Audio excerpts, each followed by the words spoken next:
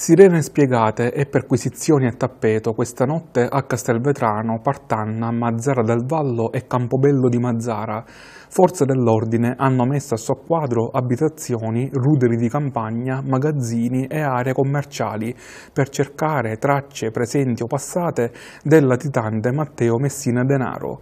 L'obiettivo, più che quello di trovare il boss, è quello di fare pressione sul latitante e sui suoi fiancheggiatori, individuare eventuali covi recenti e scovare prove concrete del suo passaggio.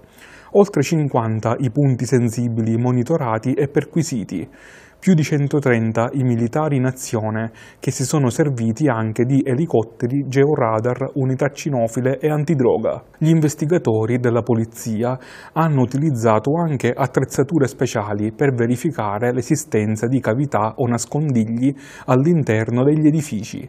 L'operazione è stata coordinata dalla squadra mobile di Palermo e di Trapani con il servizio centrale operativo della DDA di Palermo. Alla luce di questa ennesima operazione sono 19 gli indagati, tutti soggetti che avrebbero avuto a che fare, di recente o in passato, con Messina Denaro o con componenti della sua famiglia. Nonostante i principali sodali del suo clan siano stati arrestati già da tempo, il castelvetranese resta imprendibile da 26 lunghissimi anni.